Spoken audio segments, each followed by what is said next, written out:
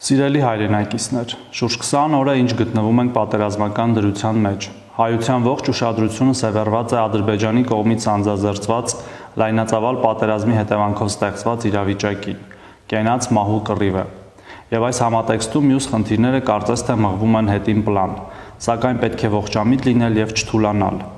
Օրասական այս օրերին մենք զբաղվում ենք մարտական գործողությունների հետևանքով վիրավորում ստացած զինվորների եւ խաղաղ բնակիչների տարհանմամբ եւ բուժմամբ։ Նախարարության մի շարք ներկայացուցիչներ մշտապես գտնվում են Արցախում։ Այս ժամանակահատվածում մի քանի անգամ անձամբ եմ այցելել Ստեփանակերտ համակարգելու վիրավորների բուժօգնության կազմակերպչական հարցերը, ինչպես նաև տեղում ձեռնարկել անհրաժեշտ միջոցառումներ։ Մարտական գործողություններից տուժածների բուժօգնության հարցերը, այդ թվում հետագա վերականգնողական բուժումը, մշտապես գտնվելու են իմ անմիջական հսկողության տակ։ Այս օրերին վիրավորում ստացած բոլոր զինծառայողներին, կամավորներին, խաղաղ բնակիչներին մաղթում եմ առողջություն եւ շուտապույտ ապակինում։ Այդուհանդերձ զուգահեռ այս իրականությանը ունեն կորոնավիրուսային հիվանդության ցուցանիշների կտրուկ աճ։ Օրեցող ավելացող հիվանդության դեպքերը փաստում են,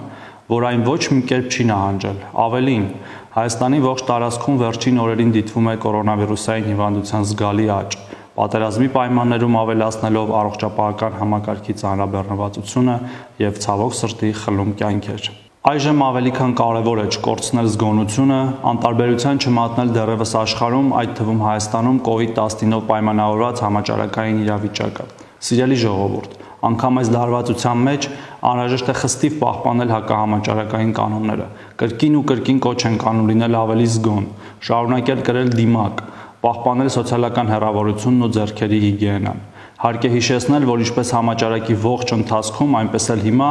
առավել քան կարևոր է մեր քաղաքացիների առողջությունն ու մարտունակությունը։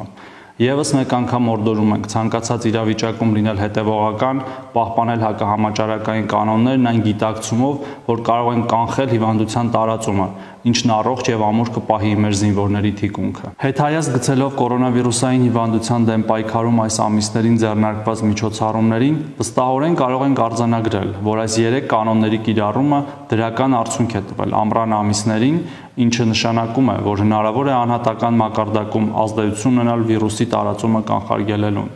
Ամփոփելով խոսքս ուզում եմ շնորհակալություն հայտնել Հայաստանի եւ Սփյուռքի տարբեր բժշկական հաստատություններից առաջնագից մեկնած մեր հարյուրավոր բուժաշխատողներին այս մարտահրավերն ընդունելու եւ պատվով կատարելու համար։ Շնորհակալ եմ նաեւ մեր բոլոր բուժաշխատողներին 10 ամիս շարունակ կորոնավիրուսային հիվանդության դեմ անխոնջ պայքարելու եւ կյանքեր փրկելու համար։ Խորապես ցավում եւ վշտակցում ենք նահատակված հերոսների հարազատներին ու մտերիմներին։ Փառք ու պատիվ մարտի դաշտում հերոսաբար ընկած մեր զինվորներին, ովքեր իրենց կյանքի գնով պաշտպանեցին, իսկ նրանց մարտական ընկերները շարունակում են պաշտպանել մեր հայրենիքը։